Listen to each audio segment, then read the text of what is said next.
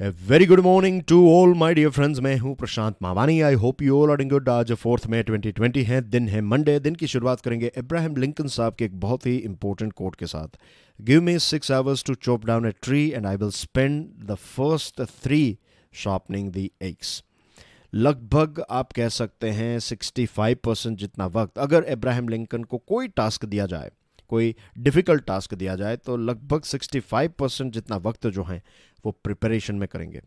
और वो दुनिया के एक बहुत बड़े लीडर भी हो चुके हैं, मीन्स आज भी बहुत सारी किताबों में, उनके जीवन के बारे में, उनकी जो गुड हैबिट्स हैं, उनके बारे में आपको पढ़ने को मिलता है। तो dear friends this is very important जो भी चीज़ करें। फॉर एग्ज़ाम्पल अगर आप कोई पर्टिकुलर एग्जामिनेशन की प्रिपरेशन कर रहे हैं तो ज़्यादा से ज़्यादा वक्त जो है, वो आपको प्रिपरेशन में देना चाहिए। दिस इज़ द की इसी के साथ डियर फ्रेंड्स आपकी प्रिपरेशन को और ज़्यादा मज़बूत करने के लिए स्टडी आई ने स्मार्ट कोर्स लॉन्च कर दिया है। ये स्मार्ट कोर्स भारत की बेस्ट फैकल्टीज़ ने डिज़ाइन किया है। प्री और मेंस दोनों एग्जामिनेशन को कवर करता है ये स्मार्ट कोर्स पेमेंट की बात करें तो ईएमआई ऑप्शन भी अवेलेबल हैं और ज़्यादा जानकारी के लिए all you have to do is download our mobile application on your mobile phone lecture की पीडीएफ को डाउनलोड करना चाहते हैं check out my Telegram channel lecture को दूसरे स्टूडेंट्स के साथ शेयर ज़रूर करें। वीडियो पसंद आता है then hit the like button and please don't forget to subscribe to our YouTube channel dear friends आज हमारे टेबल के ऊपर टोटल छः आर्टिकल्स हैं।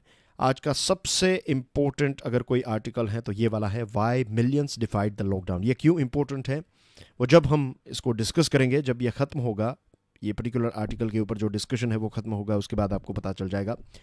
BRICS against COVID nineteen slow release during lockdown three point O no comfort in numbers और the non that ये छः articles हम डिस्कस करने वाले हैं। सबसे पहले बात करते हैं why millions defied the lockdown अपने ये तस्वीर देखी होगी। ये काफ़ी एक फ़ेमस तस्वीर है। इसके अलावा भी बहुत सारी अलग अलग इमेजेस अलग अलग तस्वीरें जो हैं, वो आपको नेट के ऊपर देखने को मिलेगी। माइग्रेशन के ऊपर बहुत सारे आर्टिकल्स भी लिखे गए हैं। आई एम टॉकिंग अबाउट ये जो करंट कोरोना वायरस के बाद जो माइग्रेशन हुआ, उसके ऊपर बहुत सारे आर्टिकल्स लिखे गए हैं। और हमने भी इसके बारे में काफ़ी सारी डिस्कशन ऑलरेडी कर ली है। तो आज फिर से हम इस तस्वीर को या फिर इस टॉपिक को डिस्कस क्यों करें? क्योंकि इस आर्टिकल में एक बहुत ही इंपॉर्टेंट कॉन्सेप्ट हमें पढ़ने को मिलता है और ये कॉन्सेप्ट ऐसा है जो आपके मेंस एग्जामिनेशन में आंसर राइटिंग में, ये कॉन्सेप्ट आपके आंसर में वो जो वेट चाहिए, वो वेट ऐड करेगा।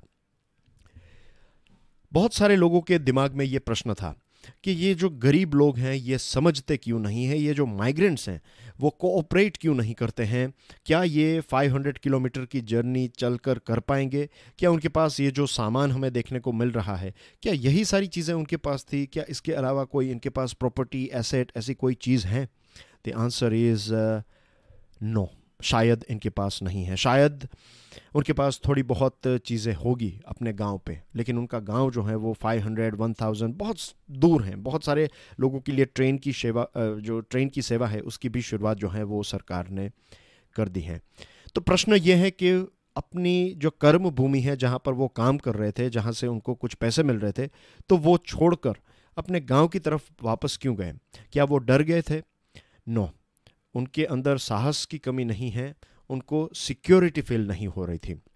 उनको गुस्से से ज़्यादा वो ऐसा फील कर रहे थे कि उनको छोड़ा गया है, अपने हाल पर ऐसे ही छोड़ दिया गया है। ये जो एक फीलिंग है, उसकी वजह से ये जो माइग्रेंट वर्कर्स हैं, उन्होंने अपनी जो काम की जगह है, वो छोड़ दी और वो फिर अपने घर की तरफ़ आगे बढ़ने लगे। Poverty line to dignity line एक लंबे टाइम से हमारे देश में हमने पॉवर्टी लाइन को फॉलो किया है। अब वक्त आ चुका है कि पॉवर्टी को साइड में रखें। हम पॉवर्टी लाइन जो है that is not that useful हमें डिग्निटी लाइन के ऊपर फोकस करना चाहिए। हमारे देश में करोड़ों लोग जो हैं, वो मेहनत, मजदूरी का काम करते हैं, बहुत ही गरीब हैं, लेकिन जहाँ तक मेरी समझ है I just give you one example ASEAN जो देश हैं, उसके बहुत सारे इलाके ऐसे हैं, जहाँ पर फिलीपाइंस की अगर बात करें तो वहाँ पर बहुत सारे ऐसे एरियाज़ हैं कि वहाँ के गरीब जो हैं, वो इतने एग्रेसिव हैं। हमारे देश में आप बहुत सारे ऐसे गरीब इलाके हैं, मोहल्ले हैं, वहाँ पर चले जाइए, लोग आपको देखेंगे, लेकिन आप, आपको लूटेंगे नहीं। आई एम नॉट सेइंग कि हमारे देश में लूट लूट फाट नहीं हो रही है, कई जगहों पर हो रही है, लेकिन वो आइसोलेटेड जगह पर, जहाँ पर कोई नहीं है, वहाँ पर लूट फाट होती है। लेकिन बहुत सारे एरियाज़ ऐसे हैं दुनिया के अलग अलग देशों में, जहाँ पर जो गरीब हैं, वो देखेगा नहीं कि आपने, आपके पास खाना है, वो ऐसा नहीं मीन्स बैठकर सिर्फ़ देखेगा नहीं। यू you नो know, कहने का मतलब ये है कि अगर उसको पता चलेगा कि आपके पास पैसे हैं देन कुछ लोग आएँगे आपको लूट लेंगे। यू you नो know, पूरा रोड के ऊपर आपकी सारी चीज़ें जो हैं वो छीन लेंगे। हमारे देश के गरीब जो हैं वो ऐसे नहीं हैं। Right right? वो मेहनत करते हैं मजदूरी करके हैं वो मेहनत की रोटी कमाते हैं जो जो हम सब जानते हैं। Right they work very hard लेकिन ऐसी जब भी कोई सिचुएशन आती है तो सबसे ज़्यादा इम्पैक्ट भी उनके ऊपर होता है। 2011-12 में भारत ने सर्वे किया था और उस टाइम पर 22 परसेंट जितने हमारे देश के लोग जो हैं, वो गरीबी रेखा से नीचे रहते थे, यानी कि ऑफिशियली 22 परसेंट लोग हमारे देश में गरीब हैं। राइट ये ऐसा ट्वेंटी इलेवन ट्वेल्व में हमें पता चला, हमारे एस्टिमेशन में। तब से लेकर आज तक ये नौ दस सालों में जीडीपी का ग्रोथ जो है, वो भी काफ़ी अच्छा हुआ है और आज होपफुली बहुत सारे लोग जो हैं वो गरीबी की रेखा के बाहर, जो हमारी सो कोल्ड एक गरीबी की रेखा है, उसके बाहर निकल गए होंगे। लेकिन ये जो आंकड़ा है, वो आंकड़ा हमें पता नहीं है। We are not sure about it हमें एक थरो सर्वे फिर से करना होगा, तभी हमें पता चलेगा कि इसका आंकड़ा क्या है। फिर, कुछ लोग ऐसे हैं फॉर एग्ज़ाम्पल ये है गरीबी की रेखा। तो कुछ लोग यहाँ पर हैं। Right right? कुछ ऐसे परिवार हैं जो आपको एग्जैक्टली exactly यहाँ पर देखने को मिलेंगे। लेकिन उस परिवार में अगर किसी अर्निंग मेंबर जो पैसे कमाता था, पिताजी हैं या फिर भैया हैं या फिर मदर हैं सिस्टर हैं, जो भी अर्निंग मेंबर हैं, उनकी वो फॉर वट एवर रीज़न बहुत सारे लोगों की मृत्यु रोड एक्सीडेंट्स में हो जाती हैं। तो वो परिवार जो हैं, वो गरीबी की रेखा के ऊपर था, लेकिन वो गरीबी के रेखा के नीचे चला जाएगा। किसी के घर में कोई बीमारी आ गई तो भी यह चीज़ हो जाएगी कि अर्निंग मेंबर भले ही नहीं है, किसी और व्यक्ति को बीमारी हुई तो फिर ये जो बॉर्डर पर रहने वाले बॉर्डर यानी कि गरीबी लाइन की बॉर्डर के थोड़े ऊपर रहने वाले जो परिवार हैं, वो गरीबी की चपेट में आ जाएँगे। किसी की जॉब चली गई तो भी ये हो सकता है और ये होता है हमारे देश में राइट फिर गिग इकोनॉमी गिग इकोनॉमी के बारे में आप जानते हैं कि एक नए प्रकार की जॉब्स जनरेट हुई हैं हमारे देश में, जैसे कि ओला और उबेर ड्राइवर जो हैं, वो किसी पर्टिकुलर कंपनी के परमानेंट मेंबर्स नहीं हैं परमानेंट स्टाफ नहीं है, उनके पास एक कार है, वो कार उन्होंने लोन के ऊपर ली है, ये कार एक कंपनी के साथ वो कंपनी के अम्ब्रेला के तहत चलाते हैं ओला या फिर उबेर के तहत, और जितना उनको काम मिलेगा लकीली उतना वो उनको ज़्यादा पैसा मिलेगा। कई बार काम ज़्यादा होता है, कई बार नहीं होता है, कई बार इनकम ज़्यादा होती है, कई बार कम होती है तो ये भी एक गेग इकोनॉमी बहुत सारे लोग जो हैं वो छः महीने के लिए, पाँच महीने के लिए, दस महीनों के लिए इस प्रकार से अलग अलग कंपनीज़ के साथ काम करते हैं तो वो किसी भी कंपनी के परमानेंट स्टाफ नहीं है। तो ऐसी गिग इकोनॉमी जो है, इसका भी रैपिड एक्सपांशन हुआ है हमारे देश में। तो क्लियर डेफिनेशन नहीं है कि कौन एम्प्लॉयड है, कौन कौन सेल्फ एम्प्लॉयड है तो ये भी भारत को इसके बारे में भी सोचना चाहिए। और सबसे इंपॉर्टेंट कॉन्सेप्ट जो है, यहाँ पर वो ये है कि मैकेजी जो है मैकेजी ने गरीबी रेखा नहीं, लेकिन एक एम्पावरमेंट लाइन डिज़ाइन की है। एम्पावरमेंट लाइन मेरा मानना है कि गरीबी रेखा से काफ़ी ज़्यादा होलिस्टिक है। इसमें आठ चीज़ें देखी जाती हैं। ड्रिंकिंग वाटर, यानी कि पीने का पानी, एजुकेशन, एनर्जी, यानी कि फ्यूल गैस एक्सेट्रा एलपीजी फिर food health care housing, sanitation और सोशल सिक्योरिटी।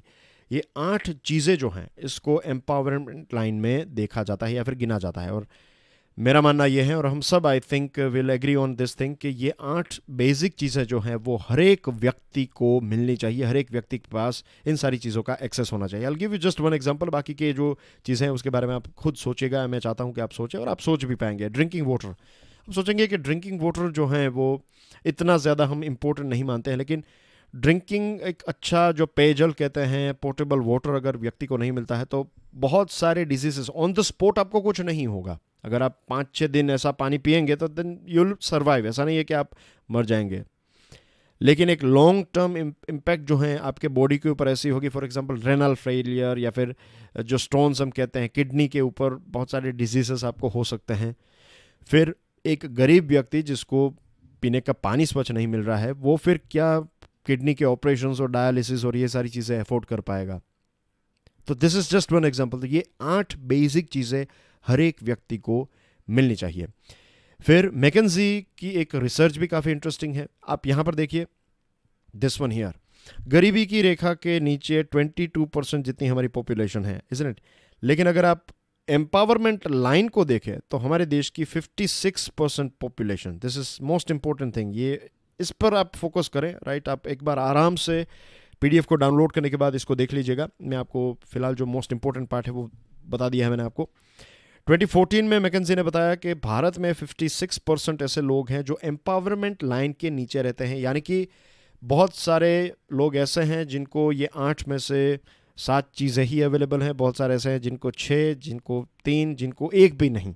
तो ऐसे सारे लोग जो हैं वो इस एम्पावरमेंट लाइन के नीचे और ऐसी हमारे देश की 56 परसेंट पॉपुलेशन है।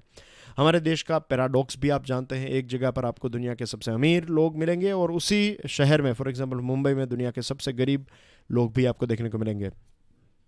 सोशल वेलफेयर जो हैं, जो हम एक मदद प्रोवाइड करते हैं बेनिफिट प्रोवाइड करते हैं तो उसको भी हमें बदलने की आवश्यकता है। And to be honest JAM के आने से, जाम यानी कि जनधन अकाउंट आधार नंबर और मोबाइल फ़ोन इसके आने से टारगेटेड जो एक लीकेज था, जो पहले यू नो पैसे कोई बीच में से खा जाता था तो ये सारी चीज़ें एक बहुत हद तक बंद हो चुकी हैं। इसका काफ़ी एक पॉजिटिव बेनिफिट हमें देखने को मिला है, लेकिन अब हमें इसको एक और लेवल पर ले जाना होगा रियल टाइम रियल टाइम यानी कि अगर आपको लेट से कोई ऐसी किसी जगह पर कोई बाढ़ आ गई या फिर कोरोना वायरस की सेकंड वेव आ गई वट कोई भी ऐसा नेचुरल डिजास्टर हुआ तो जितने भी उस एरिया के लोग हैं, खास करके सबसे गरीब जो लोग हैं, उनको ये मैसेज पहुँच जाना चाहिए। टेक्स्ट मैसेज हैं यू नो व्हाट्सएप के माध्यम से, वीडियो मैसेज के माध्यम से आप पहुँचा सकते हैं कि आप जहाँ पर हैं, वहाँ पर रहिए।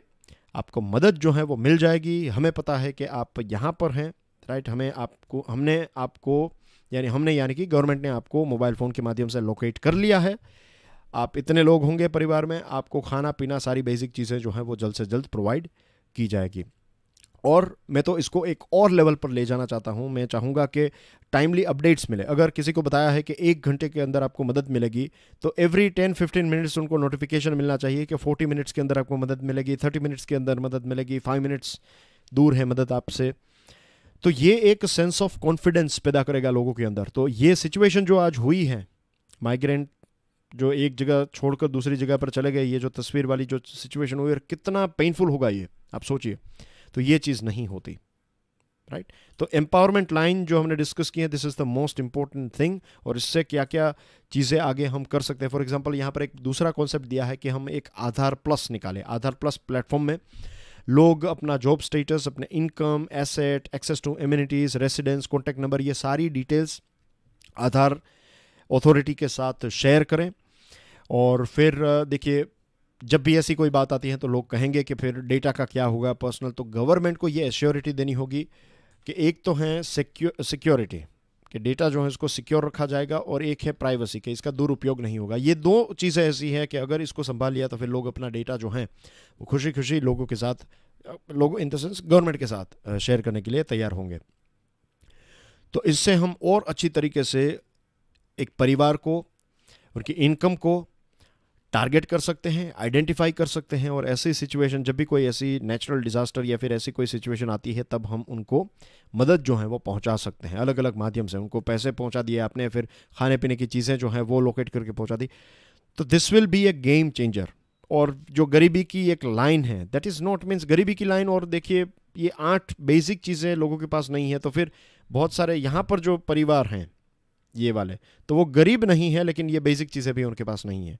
तो आई थिंक गरीबी की जो लाइन है, वो आउटडेटेड हो चुकी है। अब हमें ये जो जो नया कॉन्सेप्ट हमने एम्पावरमेंट लाइन जो है, ये हमारा एक बेंचमार्क ये हमारे लिए एक लाइन होनी चाहिए। और ये भी खबर मिली थी कि लेबर मिनिस्ट्री जो है, वो एक यू विन करके चीज़ बना रही है, जो एक आधार प्लस डेटाबेस तरह ही है।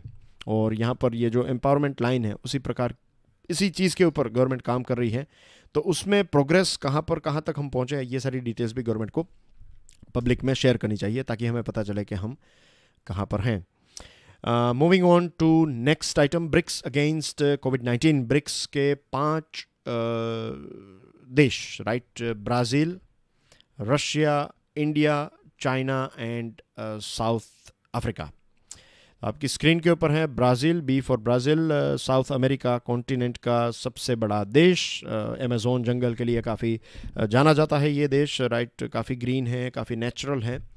और इक्वेटर यहाँ से पास होती हैं फिर कैप्रिकोन जो है वो भी यहाँ से पास होती हैं फिर आर स्टैंड फॉर रशिया दुनिया का सबसे बड़ा देश आर्टिक सर, सर्कल की लाइन जो है वो यहाँ से पास होती है 66.5 डिग्री फिर I stand for India right then you have China here और S is for South Africa ये रहा साउथ अफ्रीका अफ्रीकन कॉन्टिनेंट का एक बहुत ही मज़बूत, बहुत ही इकोनॉमिकली डेवलप्ड देश in terms of Africa right compare to बाकी ये सारे देश जो हैं, इनको डेवलपिंग देश माना जाता है। दुनिया की कुछ 41 परसेंट जितनी population let me write it down here 41 जितनी पॉपुलेशन यहाँ पर रहती है, और दुनिया की 22 परसेंट जितनी जीडीपी जो है, वो ये पाँच देश मिलकर इतनी जीडीपी जो है वो ये पाँच देश का हिस्सा है दुनिया की जीडीपी में।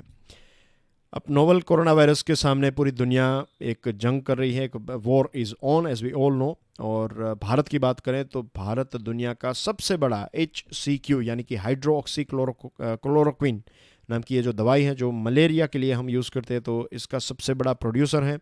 भारत ने सार्क के देशों को फिर हमारा जो एक्सटेंडेड नेबरहुड यानी कि गल्फ रीजन में रशिया ब्राज़ील इसराइल यूएसए इन सारे देशों में भारत ने ये एच सी क्यू जो दवाई है, वो पहुंचाई है।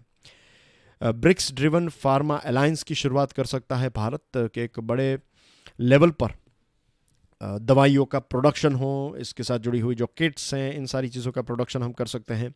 तो ये रही भारत की बात, चाइना ने भी काफ़ी सारे देशों की मदद की।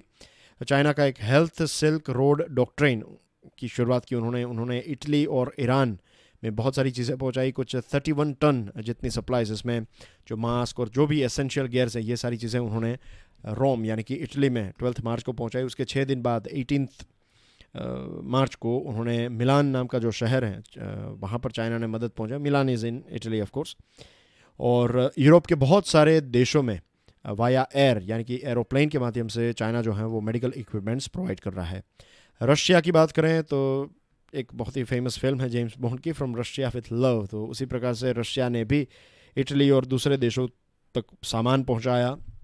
In fact US president Donald Trump की एक रिक्वेस्ट के ऊपर रशिया ने मेडिकल सप्लाईज और experts you know New York में भेजे। और रशिया इसमें काफ़ी आगे हैं। रशिया के पास जो इमरजेंसी सर्विसेज़ हैं, वो दुनिया में टॉप ऑफ़ द लाइन हैं कि अगर केमिकल वेपन का अटैक है न्यूक्लियर रेडिएशन है बायोलॉजिकल अटैक्स हुए तो ये सारी चीज़ों के लिए रशिया के पास काफ़ी सारा सामान और काफ़ी एक एक्सपर्टीज़ है। तो उन्होंने भी लोगों की मदद की है, दुनिया के अलग अलग देशों की मदद की है। साउथ अफ्रीका भी अफ्रीकन कॉन्टिनेंट में काफ़ी अच्छी हेल्प कर रहा है। सिर्फ़ ब्राज़ील एक ऐसा देश है जो इतना अच्छा नहीं है। ब्राज़ील के बारे में बहुत सारी नेगेटिव चीज़ें हमें पढ़ने को मिलती हैं कि लॉकडाउन नहीं किया और इतना सीरियसली नहीं लिया है ब्राज़ील ने इस पूरे कोरोना वायरस को और उसकी वजह से वहाँ पर बहुत सारे केसेस भी हमें देखने को मिले हैं।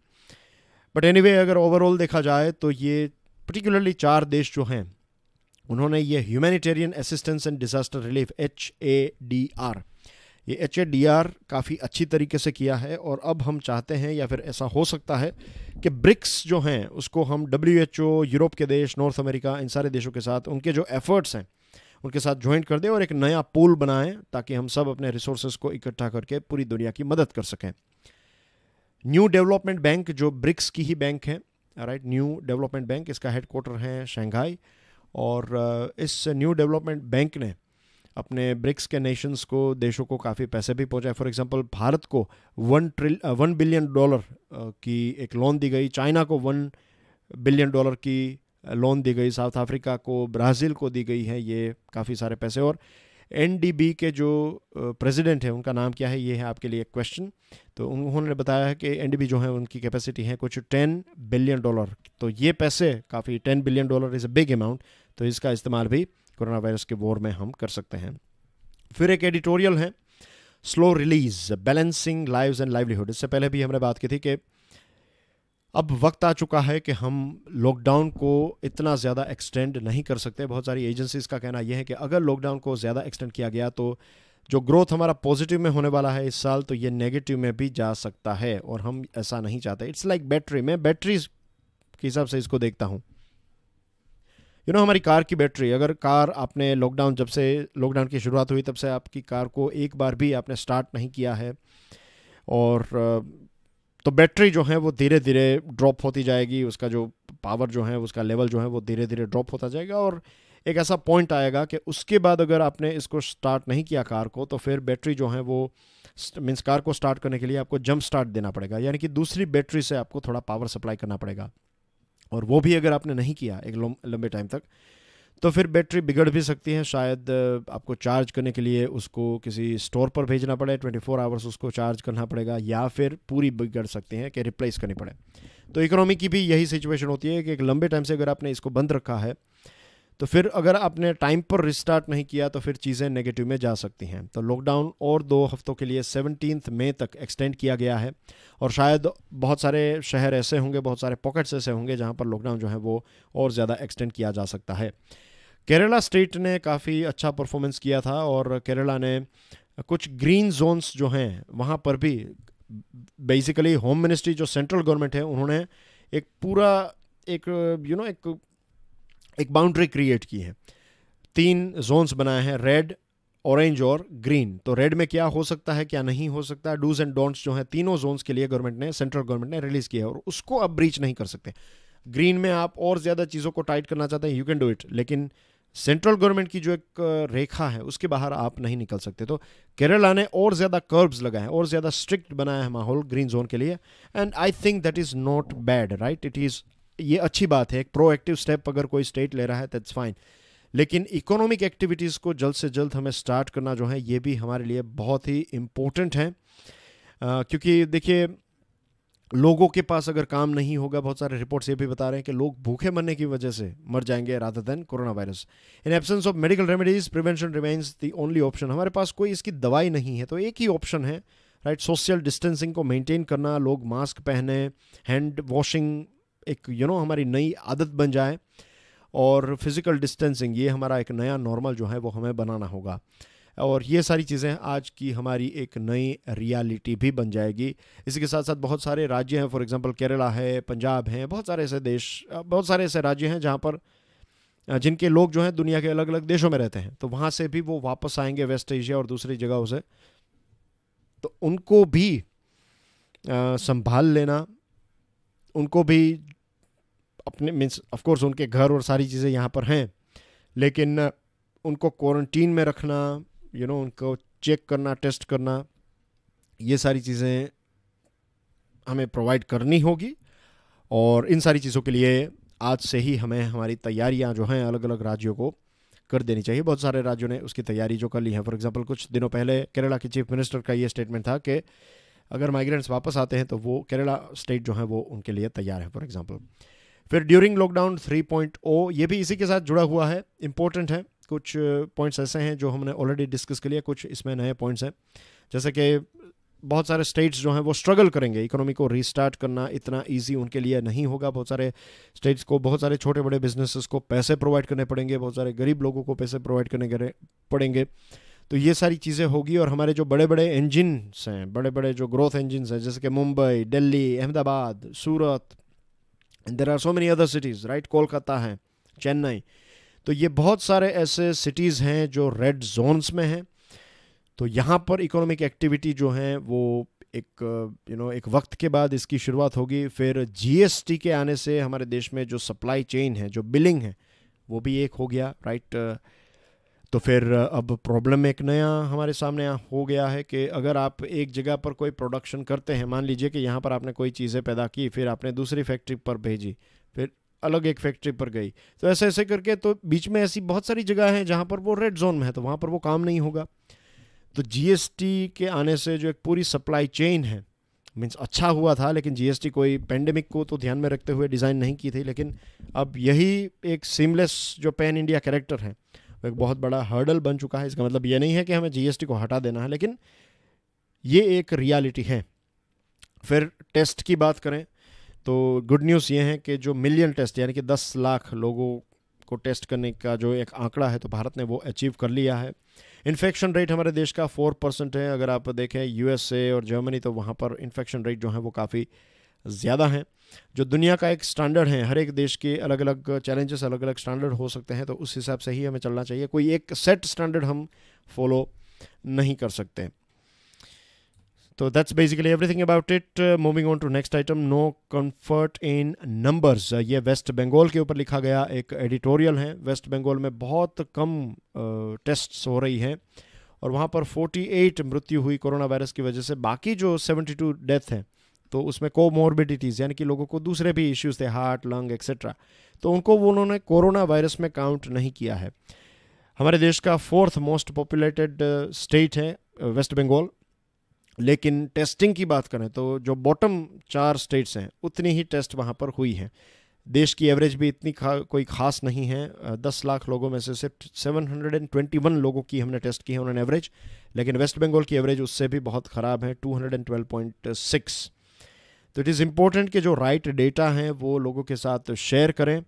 वेस्ट बंगाल ने काफ़ी अच्छे स्टेप्स उठाए थे। जब प्राइम मिनिस्टर साहब ने नेशनल लॉकडाउन अनाउंस किया, उससे पहले इस राज्य ने लॉकडाउन इम्प्लीमेंट कर दिया था अनाउंस कर दिया था। फिर स्टार्टिंग में काफ़ी अच्छे स्टेप्स भी उठाए ममता बनर्जी की गवर्नमेंट ने, लेकिन इस राज्य का जो फेटालिटी रेट है, वो भी काफ़ी ज़्यादा है थर्टीन परसेंट के आसपास है। तो डेटा छुपाने से कुछ नहीं होगा। ज़्यादा लोगों को अगर चेक नहीं किया गया टेस्ट नहीं किया गया तो एक ऐसा वक्त आएगा कि जब आप जो भी छिपाने की कोशिश कर रहे हैं, वो फिर आप छिपा नहीं पाएँगे and it will come out naturally और ये देश के लिए, दुनिया के लिए और उस राज्य के लोगों के लिए भी एक बहुत ही ख़राब और बहुत ही दुखद न्यूज़ होगा कि अगर ये वायरस स्प्रेड होने लगा तो। एक दूसरी इंटरेस्टिंग चीज़ लाइन जो है, वो आपको यहाँ पर पढ़ने को मिलती है, वो ये है कि एक राज्य में ज़्यादा अगर नंबर्स आ रहे हैं केसेस के नंबर ज़्यादा आ रहे हैं तो इसका मतलब बुरा नहीं है। इट इज़ के वहाँ, उस राज्य में टेस्टिंग जो है, वो ज़्यादा हो रही है। लेकिन अगर फेटालिटी यानी कि मृत्यु दर ज़्यादा है तो फिर वो स्टेट का रिस्पॉन्स फैसिलिटीज़ जो है, वो पर्याप्त नहीं है। इसकी वजह से मृत्यु दर ज़्यादा हो रही है। तो ये भी एक रियलिटी नंबर ज़्यादा होना इट्स नॉट बैड लेकिन फेटालिटी यानी कि मृत्यु दर ज़्यादा होना जो है, वो एक चिंता का विषय है। तो डब्ल्यूएचओ की जो एडवाइस है, उस एडवाइस के ऊपर वेस्ट बंगाल को काम करना होगा और ये जो थोड़ा और एक्सटेंड हुआ है लॉकडाउन तो ये राइट टाइम है। जो भी ग्राउंड लॉस्ट हुआ या फिर जो भी मिस कर गए हम अपॉर्चुनिटीज़ तो उनको फिर से ये राइट टाइम है कि हम ज़्यादा लोगों को टेस्ट करें और जो भी नेसेसरी स्टेप्स हैं, वो उठाएँ। एक छोटे छोटा सा पोर्शन है आर्टिकल का, एडिटोरियल का। ये टाइम्स ऑफ़ इंडिया का एक एडिटोरियल है, द नांदेड लॉसेस। एक नांदेद करके जगह है महाराष्ट्र में और वहाँ पर पंजाब से बहुत सारे सिख जो हैं वहाँ पर दर्शन के लिए गए थे। और वापस जब वो पंजाब आए तो पता चला कि कुछ सौ से भी ज़्यादा लोगों को कोरोना वायरस का इन्फेक्शन है। तो अब महाराष्ट्र और पंजाब के बीच में तू तू मेमे की शुरुआत हो चुकी थी आ, लेकिन उन वो सारी पॉलिटिकल चीज़ों को हम इग्नोर करते हैं। The most important thing is migration लोग अलग अलग रीज़न से माइग्रेट करते हैं। कोई धर्म के लिए एक जगह से दूसरी जगह पर टेम्पररी लॉन्ग टर्म माइग्रेशन होता है राइट तो धर्म के नाम पर या फिर धार्मिक यात्रा के लिए खाने पीने के लिए घूमने के लिए जॉब के लिए बिज़नेस मीटिंग्स के लिए हम एक जगह से दूसरी जगह पर जाते आते रहते हैं। और ये सारी चीज़ों की वजह से देश का, दुनिया का इकोनॉमिक ग्रोथ जो है वो चलता आया है। माइग्रेशन एक बहुत ही इम्पोर्टेंट चीज़ है और जो एक लव अग्रवाल है, उन्होंने बताया है कि ये तू तू में जो हैं that will not help us we have to fight infection not the infected जो लोग इन्फेक्टेड हैं, उसके खिलाफ हमारी जंग नहीं है। हमारी जंग जो है वो ये कोरोना वायरस के खिलाफ है। तो किसी भी चीज़ को एक पॉलिटिकल नॉट पॉलिटिकल लेकिन कोई एक कलर या फिर आइडेंटिटी स्टिक कर देना कि ये इस धर्म के लोगों ने फैलाया है या फिर ये हो रहा है, वो हो रहा है, इस रीजन के लोग फैला रहे हैं। That is not right right ये सारे स्टीरियो हमें मदद नहीं करेंगे, ये हमारे देश को और ज़्यादा कमज़ोर कर देंगे। हमें कोरोना वायरस के खिलाफ फाइट करनी है, हमारे ही लोगों के खिलाफ फाइट नहीं करनी है। और एक चीज़ हर हर एक धर्म के लोगों को समझनी होगी, वो ये है कि चाहे ईद हो, दिवाली हो, गुरु पुरब हो, क्रिसमस हो, दूसरे जो भी अलग अलग रिलीजन के अलग अलग जो त्यौहार हैं वो त्यौहार जब तक हमें दवाई नहीं मिलती है इसकी, तब तक हमें हमारे घर पर ही सेलिब्रेट करने होंगे। राइट हम पब्लिक गैदरिंग नहीं कर सकते। ये हम सब के हित के लिए है। Moving on to news items यहाँ पर एक इन्फोग्राफिक है फेटालिटीज़ का। गुजरात में फेटालिटीज़ काफ़ी ज़्यादा हैं 5.3 परसेंट यानी कि इतने केस हैं और इतने लोगों की मृत्यु हुई है। मध्य प्रदेश में भी फेटालिटी रेट जो है वो काफ़ी ज़्यादा है 5.3 वेस्ट बंगाल 5.2 महाराष्ट्र में 4.2 है। महाराष्ट्र में केसेस ज़्यादा है, लेकिन फेटालिटी रेट कम है। तो इस प्रकार से अलग अलग स्टेट का है तो देख लीजिएगा। एक दुखद बात है कि हमारे देश के पाँच जवान जो हैं वो शहीद हो गए इस, एक टेररिस्ट को एनकाउंटर करते हुए जम्मू कश्मीर में as you can see here right ये है वो जगह, कुपवारा में। तो वहाँ पर एक आतंकवादी हमला हुआ और आतंकवादी तो मारे गए, लेकिन उसी के साथ साथ हमारे देश के पाँच जवान जो हैं वो शहीद हो गए। तो big salute to this brave hearts और उनके परिवारजनों के लिए प्रार्थना ज़रूर कीजिएगा। Right may God bless them and may God protect them Delhi is ready to deal with covid nineteen बताया है। चीफ मिनिस्टर साहब ने इकोनॉमिक रिकवरी में take a year C I I ने बताया है। फिर यूपी में तीन हज़ार दो सौ जितने माइग्रेंट्स जो हैं वो वापस पहुँच गए हैं। आसाम में ट्वेंटी सेवन बांग्लादेशी नेशनल समेत मिले। जावड़ेकर साहब, यानी कि जो हमारे यूनियन मिनिस्टर हैं तो उन्होंने बताया कि ये जो एक रिपोर्ट आया था वर्ल्ड प्रेस फ्रीडम डे की ये जो रिपोर्टर्स विदाउट बॉर्डर ये सर्वे का नाम है तो इसमें भारत का रैंक जो है वो आपको ध्यान में रखना है। 180 में से 140 सेकंड आया और हमसे आगे हैं भूटान, नेपाल, श्रीलंका। तो उन्होंने बताया कि यू नो ये मीन्स गवर्नमेंट ने इसको रिजेक्ट किया है इस रिपोर्ट को और वो स्टेप्स उठाएँगे। यूएई uh, ने तीन और इंडियंस को बुक किया है हेट स्पीचेस हेट फैलाने के जुल्म में। सऊदी अरेबिया भारत में इन्वेस्टमेंट जितना वो करने वाला था उतना ही करेगा। और सियोल यानी कि साउथ कोरिया ने यह बताया है कि नॉर्थ कोरिया के लीडर किम किसी भी किसी भी सर्जरी के थ्रू नहीं गुजरे हैं। आपके लिए एक दूसरा प्रश्न है नॉर्थ कोरिया और साउथ कोरिया के बीच में जो एक बॉर्डर है, उसका एक नाम है, खास नाम, इसको पैरेलल कहा जाता है। तो कौन सी पैरेलल है, वो बताइए। And that's everything in today is a discussion thank you very much for watching this video God bless you all जय हिंद